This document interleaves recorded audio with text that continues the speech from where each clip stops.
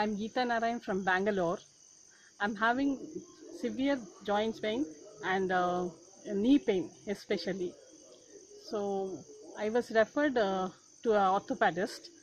But meanwhile, my one of my friend, she suggested naturopathy, and also she referred me to Dr. Venkatramana Hegde and uh, Veda Wellness Center at Sirsi. So I decided to uh, experience this treatment. So I, I have spent around uh, 10 days over here and I had an excellent treatment, therapy and uh, diet. By all these, I am cured. Now I am relieved totally from the pains and I prefer uh, hereafter for any pain which can be cured in naturopathy, certainly I will meet Mr. Hegde only.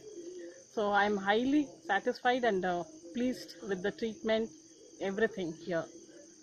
Thank you.